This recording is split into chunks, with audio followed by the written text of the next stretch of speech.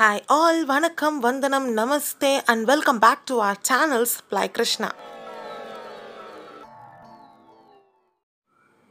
நம்ம வீடியோக்குள்ளே போகிறதுக்கு முன்னாடி நம்ம சேனலை நீங்கள் ஃபஸ்ட் டைம் பார்க்குறீங்கன்னா மறக்காமல் சப்ஸ்கிரைப் பண்ணிக்கோங்க. இன்றைக்கான ரெசிபி மிளகு வடை. இந்த மிளகு வடை நீங்கள் செய்கிறதுக்கு டென் மினிட்ஸ் கூட ஆகாது. அவ்வளோ ஒரு ஈஸியான ரெசிபி இதுக்கு முதல்ல நான் உளுந்து ஒரு நாலு மணி நேரம் அளவுக்கு ஊற வச்சு எடுத்து வச்சுருக்கிறேன். ஒரு கப் அளவுக்கு அரிசி மாவு மிளகு ஒரு முப்பது மிளகு எடுத்து வச்சிருக்கிறேன். ஒரு டேபிள் ஸ்பூன் அளவுக்கு சீரகம் கூடவே தேவையான அளவு உப்பு. ஸோ ஃபர்ஸ்ட் இப்போ உளுந்து வந்து ஒரு சொட்டு கூட தண்ணி விடாமல் நல்லா ட்ரையாக ஒரு சப்பாத்தி மாவு பதத்துக்கு அரைச்சி எடுத்துக்க போகிறோம் நல்லா இந்த மாதிரி கொஞ்சம் கொர கொரப்பாக அரைச்சி எடுத்து வச்சுக்கோங்க. இதுக்கப்புறம் நான் இதெல்லாம் அரிசி மாவு ஒரு கப் ஆட் பண்ணுறேன் தேவையான அளவு உப்பு போட்டுக்கலாம். இப்போ இந்த மாவில் கொஞ்சமாக தண்ணி சேர்த்து சப்பாத்தி மாவு மாதிரி உருட்டி எடுத்துக்க போகிறோம்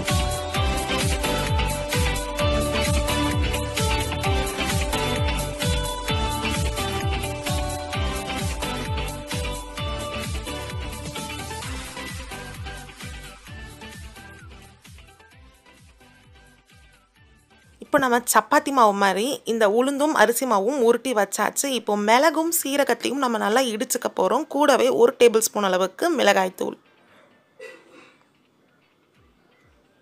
ஸோ உருட்டி எடுத்து வச்சுருக்கிற மாவில் மிளகு மற்றும் சீரகத்தை ஆட் பண்ணிவிட்டு கூடவே மிளகாய்த்தூளும் ஆட் பண்ணி நல்லா உருட்டி பிசைஞ்சு எடுத்துக்க போகிறோம்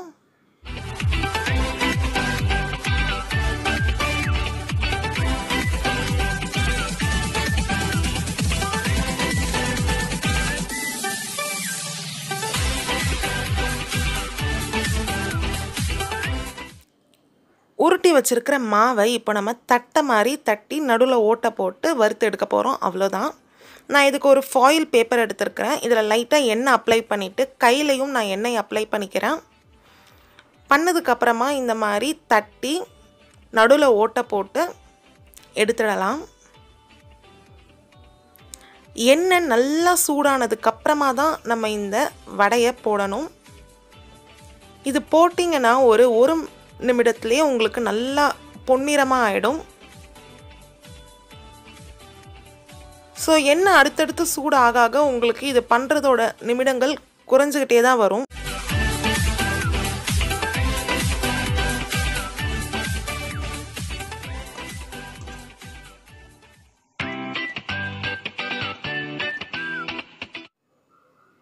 இப்போ நம்ம எடுத்து வச்சு வடையை சர்வ் பண்ண ஆரம்பிச்சிடலாம். இந்த வடை உங்களுக்கு ஒரு நல்ல ஈவினிங் ஸ்நாக்காக இருக்கும். ஹெல்த்தியும் கூட. அவ்வளோவா உங்களுக்கு இந்த வடையில் எண்ணெய் ஒட்டவும் ஒட்டாது. ஸோ இந்த ரெசிப்பியை நீங்கள் ட்ரை பண்ணி பார்த்துட்டு எப்படி இருந்துச்சுன்றது கமெண்ட் பாக்ஸில் என்னோட ஷேர் பண்ணிக்கோங்க. மறக்காமல் நம்ம சேனலுக்கு சப்ஸ்கிரைப் பண்ணிக்கோங்க. அப்படி பக்கத்தில் இருக்க பெல் ஐக்கனையும் கிளிக் பண்ணிக்கோங்க.